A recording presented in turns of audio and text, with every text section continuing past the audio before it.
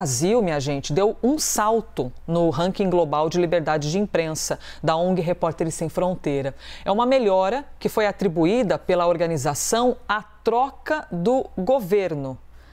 Vamos ver na reportagem do Américo Martins. O Brasil subiu 18 posições no ranking mundial de liberdade de imprensa.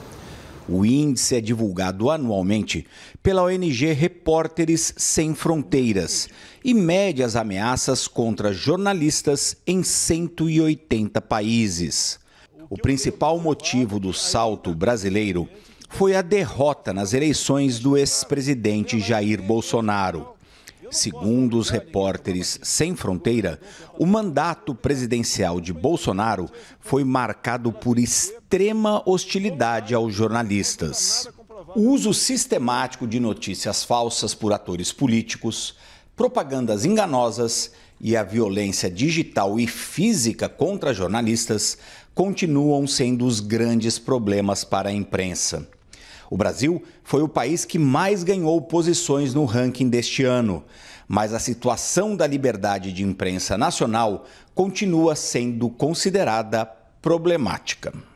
A ONG usa cinco indicadores para definir o ranking: contexto político, marco legal, contexto econômico, contexto sociocultural e segurança para os jornalistas. Ela também classifica a situação da liberdade de imprensa no mundo em cinco categorias: boa, satisfatória, problemática, difícil e muito séria. Apenas oito países têm uma situação boa no quesito.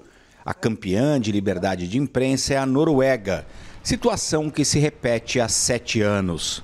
Os piores, sem nenhuma surpresa, são Irã, Vietnã, China e, claro, a Coreia do Norte.